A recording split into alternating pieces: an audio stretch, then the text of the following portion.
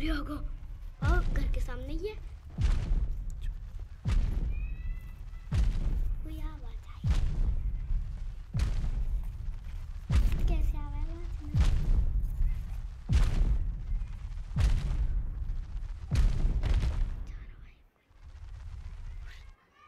देख तुम बचोगे ना तो भागते क्यों ना हो?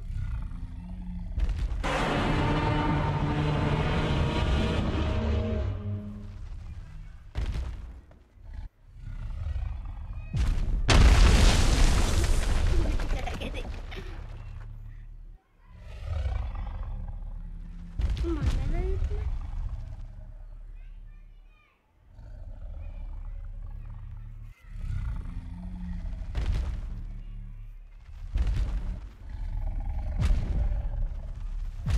मार के